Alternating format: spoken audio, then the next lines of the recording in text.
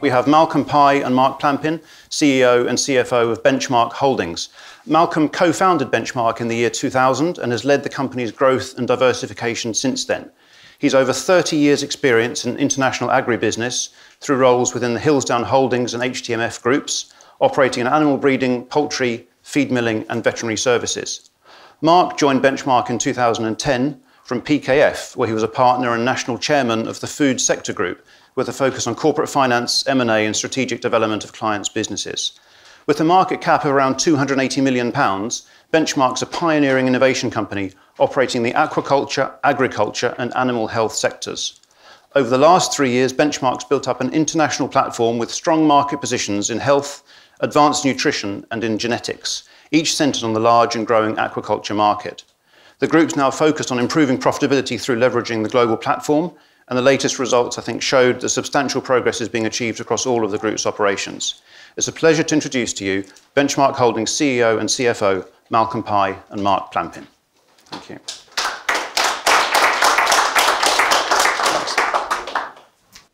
Good evening, everybody. Uh, okay, I'm going to start by um, doing some background. Um, some familiar faces in the audience, but some who uh, I think we haven't met before. So um, I'm going to cover some of the background first. So beginning with our vision. Um, so we benchmark set out to become the leading global provider um, in aquaculture technology. And in, that, in our case, that means health, genetics, and advanced nutrition. Um, what do we do? Well, we address the major challenges that our producers, that, that our customers in the aquaculture industry face. And this means we're focusing on, on technology that improves yield, product quality, and overall the profitability of our customers. Um, and we bring together technology, particularly biotechnology or biological development, um, to deliver innovative products um, that support our producers right throughout the production cycle. Um, giving you a bit of a feel for benchmark at a glance. Um, today we've grown a lot since we, since we IPO'd back in 2013. Um, last year our revenues were around 140 million. Um, we have more than 1,400 customers around the world, operating in more than 70 countries, um, and we have operations of our own in 26 or so countries around the world. Um, we have developed market leadership um, in our segments. Um, we have a very unique product offering. I'm going to talk a bit more about that as we go through this. Um, based on the application of innovative technology, um, and we also have a long-standing track record um, in the industry. To give you a bit of a feel about our, our history, we started off in 2000. Um, we began by uh, taking over the Oxford University research farm um, and starting to link together. We, the backdrop um, in those days was creating sustainable food production. Um, we were kind of early adopters in that arena. Um, so we were trying to create sustainable food production um, really before it became such a big focus as it's become today. Um, and our original objective was to put together top quality science with producers in the food industry. So we began by taking over the research farm in Oxford, and we started to build from there. And we quite quickly became developed a major focus in aquaculture because this was the area that humanity needed um, the technology most in. And it was obvious that we were in a world where 70% of the Earth's surface was covered with water, and that only produces 2% of the world's food, of, of man's food, and therefore that was going to have to change, and it's going to have to change in a sustainable way. Um, and so that created a very big opportunity for us. Um, and that created our focus. And we developed the three major divisions, partly through acquisition, um, and partly through um, organic growth uh, from there. Um, and we have, over, that, over the period between 2000 and today, um, we've acquired both manufacturing capabilities for things like vaccines and breeding operations. Um, and we've also put together an integrated global distribution and supply network that covers the whole of the global aquaculture scene. Our strategy is to take a leadership position, first of all, in aquaculture technology, therefore. We do this by tackling the difficult to solve problems. So these are the areas where technology has the most um, potential to, for our customers. Um, so we are not making Me Too look-alike products to what other people maybe are doing. We set out with the unsolved problems and we tackle those first. We're positioning for growth, so we are looking at a sector that has tremendous growth. The, the aquaculture industry has been the fastest growing segment of the food industry for a long time, set to continue that way for a long time into the future as well. And it's made up of a lot of new emerging areas, so species that have never been farmed before. Um, you know, probably the oldest farm species that is that, that we're all aware of is salmon, and that the salmon industry has developed over the last 40 years. But a lot of the, the growth in the industry is from new, totally new species, things like Seriola and grouper, shrimp, you know, which only been really farmed at, at significant volumes for the last 20 years.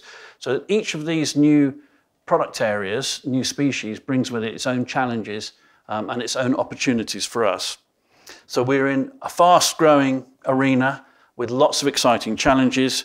And of course, by putting these together, we can deliver very attractive returns um, over the medium long term uh, for our shareholders. Our strategy pillars, where we use insight gained from frontline services um, and industry relationships. So we're very well embedded with our industry. We provide our customers with more than just products. We often provide them with services and advice as well. Um, so we have a very close relationship with the customers. We're using IP-rich technology. So it's, uh, these are products that have patents um, around them very often. Very often the technology comes from other areas like human, the human pharma technology or developmental genetics in the human scene. Um, we have built and we operate a global network. We're the only major aquaculture technology company that operates right across the aquaculture scene. And we've established from this a very scalable platform. This company has grown dramatically. Um, you know, we've averaged 30, 40% growth per annum ever since we were founded, but we can continue doing that. This, where we are today, we can be a lot bigger in five years' time. We can be even bigger again in 10 years' time. And we have a very disciplined approach to investment. Our world is an area where, which has pulled in investment to develop the business as it stands today and develop the products. And as we've been doing that, uh, we have been developing the discipline that you need to have behind that. Mark's going to talk a bit about that later. So, what do we do? Well, we're in these three key areas genetics, nutrition, and health. Um, we're a major player in each. Uh, we're number one in aquaculture genetics in the world. We're number one in advanced nutrition in the world, um, and we're in one of the top five in aquaculture health. So we, are, we have developed strong market leading positions in each one. Um, and we're a significant player, and in each, each area has a major um, arena, a big arena of potential customers out there. So although advanced nutrition is much bigger than the others, um, the others can grow to a similar size, um, and they have equally large opportunity. Um, one of the key things that we do is that we provide solutions right across the production cycle. So our products begin right at the beginning in terms of breeding and genetics, producing um, new, new genetics that are more efficient from the customer's point of view, go through the hatchery stage. These, these genetics produce eggs that are hatched in the hatchery stage. Those are then grown through larval stages in what's called a nursery environment. And then finally, they go out to the big grow out farms where most of the feed goes in and most of the growth takes place that produce the products that we, that we consume.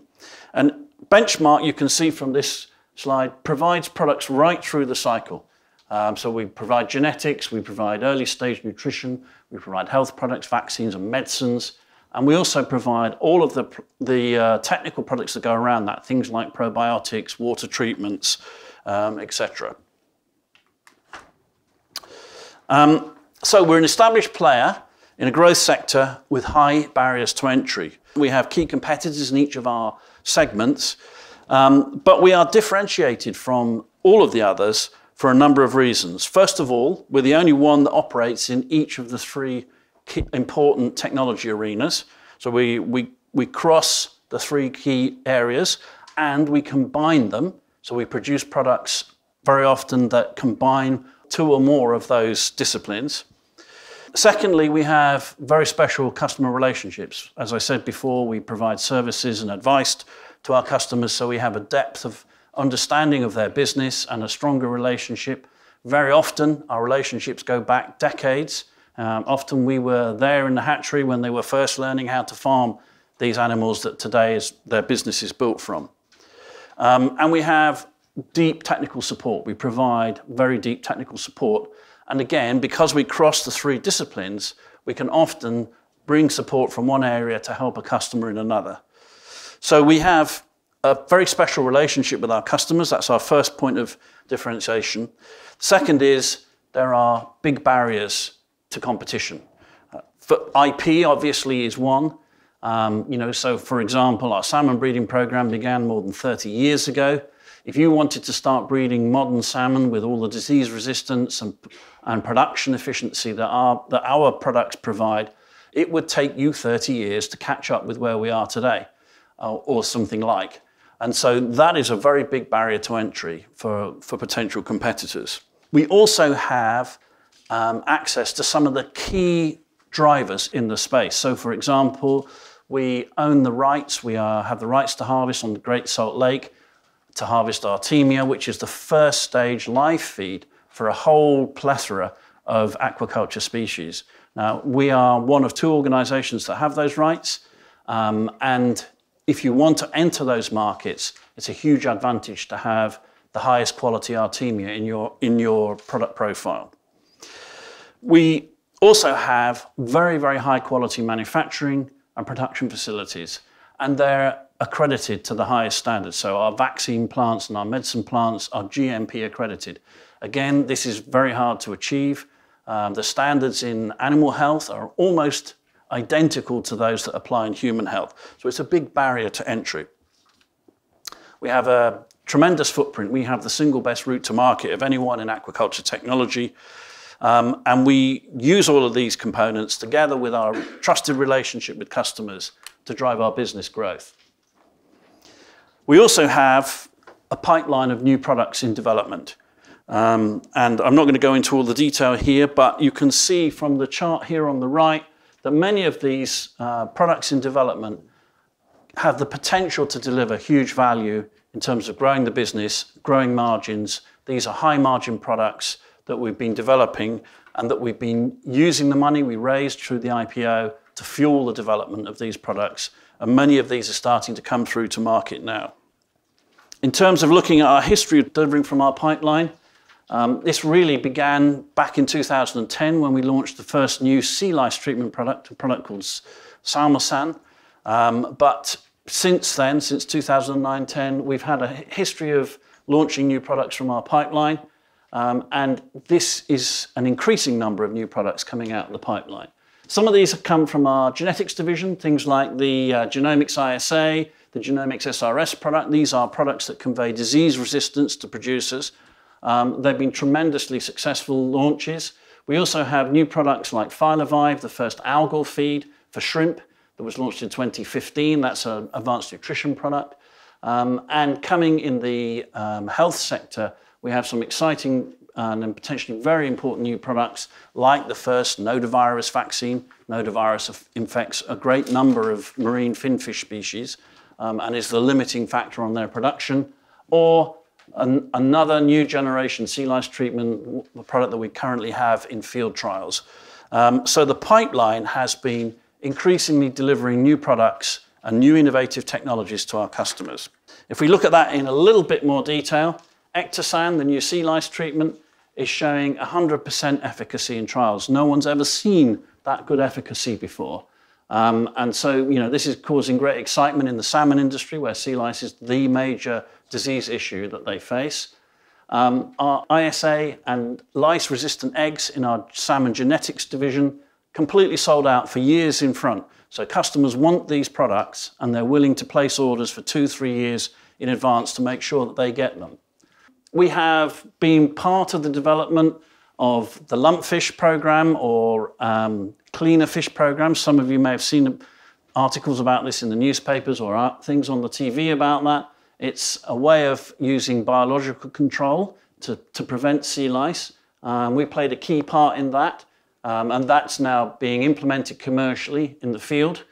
Um, another um, important area for us is the development of the emerging species, things like tilapia and shrimp. Um, and here we have genetics programs and new products coming through, which again are starting to demonstrate powerful benefits for our customers. Um, and we are also launching new um, developments in the advanced nutrition space. The development of new probiotics and immune stimulants is a key area for the food industry. We want, these are used to replace antibiotic use in food animals, so it's a really important area. We've been leading that development in aquaculture.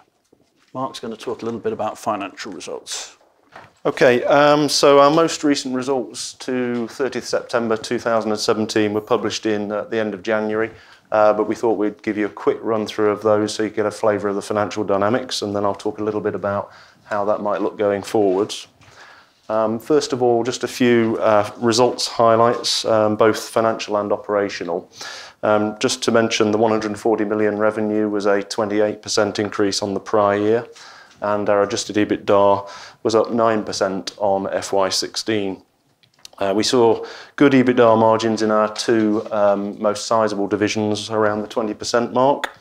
Um, and we also, during the year, strengthened our board and our management team. We recognise that we've grown significantly since IPO, uh, and we'd reached the stage in our development where we felt we wanted to strengthen the board and also to add some further capability to our management team, which it actually is uh, the uh, most recognised uh, management team in aquaculture in terms of strength and depth of experience globally.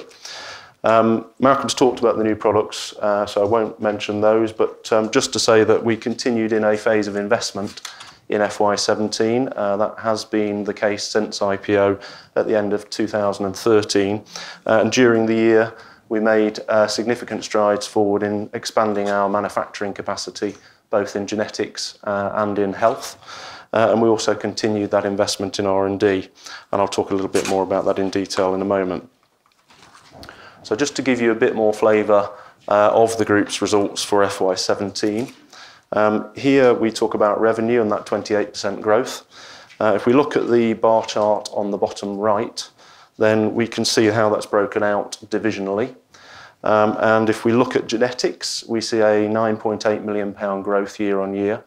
Uh, that represents about 47% increase. Uh, and this came principally from our salmon genetics business, uh, which today is about 95% of that division's turnover. Uh, that growth was driven by an increase in the number of units sold um, and, more importantly, an increase in the average price per unit. Uh, as we're able to demonstrate to our customers uh, the value of improved genetic traits that we launch, they can see that that adds to their bottom line and they're willing to pay us more per unit for that product. Um, our animal health division, uh, the uh, 9.7 reduction that you see there, um, related largely to Salmosan, which is a mature product. Um, that's um, something that we've been very clear about since IPO. It's a product that has gone past its patent protection and has seen some competition in markets. It's now, during the FY17 year, reduced to 5 million of revenue, so a relatively small proportion of benchmark today. Uh, we expect its sales to tail off uh, over the coming five years or so, uh, but still an important product in that sea lice market. And it shows the position that we have in that market for new products coming through um, that tackle the same problem, like Ectosan and CleanTreat that we just began field trials in the first half of this year for. Um, there, the uh, reduction in uh, turnover was 39%. And then our largest division today, Advanced Nutrition, saw good growth year on year. Uh, we acquired the majority of that business in the 2016 year, part way through. So if we adjust that and look at it on a like-for-like basis, uh, we see growth for that division in revenue uh, year on year of 21%. So still a good growth um, resulting from that adjustment. And on a group basis, if we make the same like-for-like adjustment, revenue growth of 13%. So organically, a good revenue growth result. If we then turn to profitability, uh, As I mentioned, adjusted EBITDA up by 9%. Um, here we did see uh, an impact of that, a reduction in revenue in the animal health division. Um, however, we were very pleased with the EBITDA margin performance of our genetics division, um, or delivering a margin on revenue of 19%, which is significantly up from the prior year, which was sub 10%, um, driven by that uh, revenue growth that I mentioned earlier. And in advanced nutrition, a 21% EBITDA margin. Uh, and these EBITDA margins are quite indicative of uh, the capability for the future for this group as a whole. Um, we also saw um, like-for-like adjusted EBITDA at around 10 million, um, adjusting for the acquisition we made in FY 2016 that I mentioned earlier, uh, which is roughly approximately the same as the prior year. Although in FY 2017 we did incur Uh, an exceptional bad debt uh, of around 1.2 million. So If we add that back, we did in fact see growth on the like-for-like adjusted EBITDA of around 10%. And an adjusted profit before tax of 6.3 million, up from 5.2 in the prior period. If I turn then to the balance sheet and our funding, um, here we did see, as predicted, a move in FY17 to a net debt position. Uh, we closed out the year with 23.9 million of net debt. That's as a result of the investment that I mentioned earlier. So here we saw a free cash flow outflow of 21 million. Um, that's a combination of 16 million inflow from operations and 31 million of investment uh, CapEx. So we have been busy investing in both production capacity, Uh, where we concluded during the year the final phase of development of our vaccine manufacturing facility in Braintree in Essex. And also we were at the end of this financial year, approximately halfway through building a new salmon egg breeding facility in Norway. That will conclude at the end of this FY18 financial year. Um, and we invested on a capitalized basis 2 million in R&D. Our total investment in R&D in the year Uh, was around 15 million. So Clearly we have expensed R&D and capitalized R&D. Um, we are compelled to capitalize R&D at the point at which a product is beyond technical feasibility, um, which largely applies to around the last 20% of the R&D pathway of any product um, before it reaches market. So this will be a continuing feature of the business as more new products now come through to market, as Malcolm mentioned. The liquidity position of the business at the end of September last year was around 35 million of headroom. Um, and we continue to see investment in this year, which I'll uh, talk to you about in a moment. Uh, and then from a leverage perspective, uh, this is one of our key financial covenants. We have a revolving credit facility, which is our main funding line for the group, which includes a leverage covenant of 3x net debt to adjusted EBITDA. At the year-end, it was around 1.8x, uh, so sufficient headroom in that facility uh, to give us good confidence looking forwards in terms of the investments that we have uh, to fund from our cash flow and facilities. I'll turn now to talk a little bit about the numbers looking forward from here. Um, first of all, looking at things from a more operational perspective, Uh, what we see and are confident in is continued growth across the divisions. Um, this in genetics will be delivered uh, through continuing growth in our market share in the important salmon market. As I said, that's the majority of our genetics business today. Um, but then also importantly, seeing our moves into other major production species, shrimp and then tilapia, starting to show good contribution on the revenue growth. Um, the shrimp genetics business uh, has a target of penetrating the um, most significant Asian shrimp market. And here we have a very strong synergy with our advanced nutrition business, uh, who are the market leader in that Asian market for shrimp production in that early stage hatchery segment. Um, and also tilapia is a significant focus for us in terms of opening up those South American and Asian markets, also through synergies that we have with other parts of the business. In nutrition, Malcolm mentioned Artemia being one of the key staple products there. And um, we have uh, today the strongest position globally, as you mentioned. Uh, that's a natural resource which um, will not expand any further in terms of its output, and our clear focus is on what we call replacement diets. Um, these are man-made diets that replace out that live feed.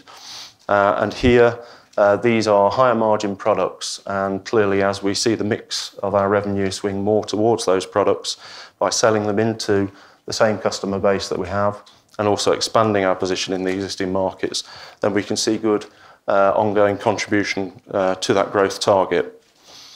Um, we also see the opportunity to expand further into the um, nursery market uh, with products like probiotics that Malcolm mentioned earlier, which are key um, drivers of improved performance for that next stage in the grow out, grow out of aquaculture species.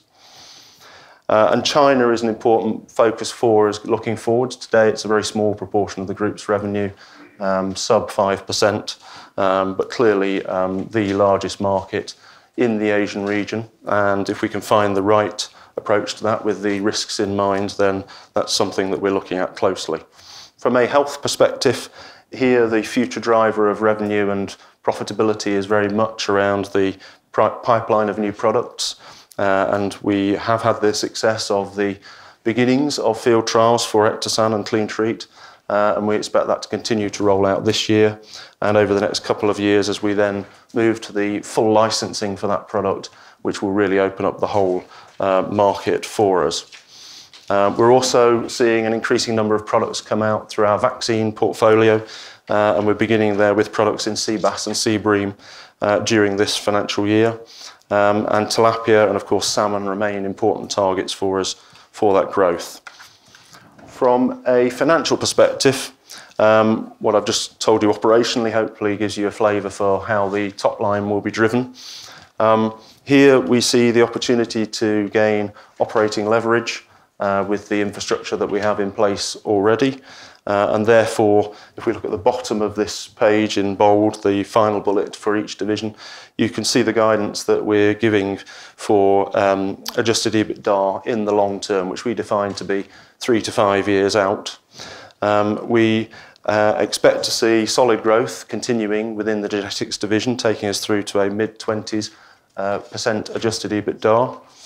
Um, and we can see that that division has the cash flow profile to fund its ongoing CapEx and R&D needs.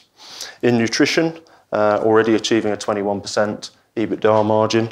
Here again, we anticipate mid to long term mid-20s percentage EBITDA margin, and again, that division will continue to fund its own CapEx and R&D requirements.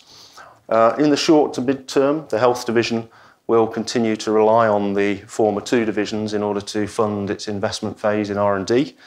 Um, but then with the increasing number of products coming through, the top line growth and operational, operational leverage, bearing in mind these are products that are largely focused on unmet needs for our customers, then we have good visibility of significant growth in our EBITDA margins for this division. And again, in the long term, we see those climbing to the mid 20%. And then I thought I'd just talk for a minute about financial discipline. Malcolm mentioned that earlier. It's very important to us as a growth company in an investment phase. Um, our leverage and headroom uh, I touched on earlier, but just to say for this year, um, we can see a peak in our leverage as we continue to invest uh, in production facilities and R&D of around two and a half times. Um, we have uh, an absolute uh, requirement to maintain through our rolling forecasts a minimum 10 million pounds of uh, headroom in liquidity terms. Uh, we apply strong cost and capital discipline. I'll talk you through that in a moment. Um, and we will apply our long-term positive uh, cash flow to paying down the debt. Uh, and for us, a steady state covenant on the leverage would be something in the range of one and a half to two times in the long term. We, of course, see it's sensible to have some gearing in the business in order to um, give our shareholders better returns. From a capital allocation point of view, we have a detailed process uh, which begins with a proposal from the division, the relevant division, uh, which must be based, as you'd expect, uh, on a business case that includes strategic, commercial, and financial measures. Uh, here, from a financial point of view, uh, we'll see a full model, uh, financial model built. that shows the life of the project and converts to a discounted cash flow. From that, we'll of course look at various hurdles in terms of returns, but principally on IRR and return on cumulative invested capital. Our base threshold is our weighted average cost of capital, which was just under 10% in the last financial year. And of course, we will look then at each project proposal on a case-by-case basis to look to risk weight the threshold for returns. Um, and historically, we have seen typical hurdle rates that projects have had to meet and exceed of between 14 and 20%. Uh, and increasingly, we're making use of joint ventures to allow us to progress with our expansion more quickly. Uh, this is a model that we find allows us to leverage our partners' position in certain key markets and one that we've applied already very successfully in salmon breeding. Uh, and it's possible we may move to use that model in other species as well. Malcolm, outlook. Uh, so we're a diversified group, um, and we have leading market positions in high-growth markets. We already have two of our three major divisions performing well. Um, as Mark said, we we can see those continuing to improve their margins, but they're already performing well, generating cash, um, and um, high EBITDA returns. And the third one will reach that point fairly soon as we bring through the new products that are coming through from our pipeline now. The short-term funding requirements, the CapEx and R&D requirements, are funded from group cash generation and from facilities that we already have in place. Um, and we also have, right now, a review of non-core activities ongoing. So as we've grown, sometimes through acquisition, we picked up odd bits and pieces that aren't absolutely core to our main mission in building our position in aquaculture technology, and we're starting to review the best ways to to uh, generate value from some of those. We have a review ongoing at the moment on that area. We have strong cost and capital discipline. We control costs very tightly. Um, you know, We're very much aware that uh, as we've been going through this phase of investment, it's important to keep a tight control on costs and on capital itself, as Mark has said. Um, and we expect that we're quite close to our peak CapEx. That's going to be hit over the next 12 months, and then we'll come into an era where we see the cash flows paying down the borrowing and um, and exceeding the CapEx requirement um, substantially. Um, we expect that we will continue to grow at our current rate, and we have the production capacity, by and large, which will allow us to do that without massive input of more capital. So that will drive operational leverage. We see a period of long-term cash generation coming that will deliver exciting returns for our shareholders, whilst we are able to continue to invest in further organic growth. So we see a very positive outlook for the future looking forward from where we are. That is pretty much all we wanted to say. So let's um let's take questions. The business sounds really interesting. The growth barriers to entry sound really interesting. You said a lot about EBITDA and adjusted profits. Can you say something about the outlook for real profits, bottom line, non-adjusted, real EPS, and free cash flow? Um, yeah. So um, that R&D investment that we're making obviously has an impact on the real profits at the bottom line, as you mentioned. Uh, and also the fact that we've been in acquisition mode for almost four years means there are significant value of intangible assets that, of course, get amortized through. Um, so you have to take that into account when you look at the net loss. Um, we anticipate moving through to the point of break even at that level um, around the turn of FY19 and into FY 2020 uh, as a result of the top-line growth that I mentioned earlier. Uh, from a cash perspective, we continue to be in investment mode in this year. Uh, our CapEx will probably be around the level of 25 million pounds. Uh, and that means, of course, there'll be an outflow of cash because at the same time, we'll have an increase in investment in working capital. With effect from FY 2019, that CapEx will reduce significantly, uh, probably to something like 12 million-15 million pounds. Uh, and the year after that, it may reduce again a little further. So we can see that we have then the opportunity with the top-line growth and the increase in EBITDA that I mentioned to move into a cash positive position. And again, we expect to see that around, um, well, broadly neutral during FY 2019 and moving into positive cash flow, free cash flow generation in FY 2020 and beyond.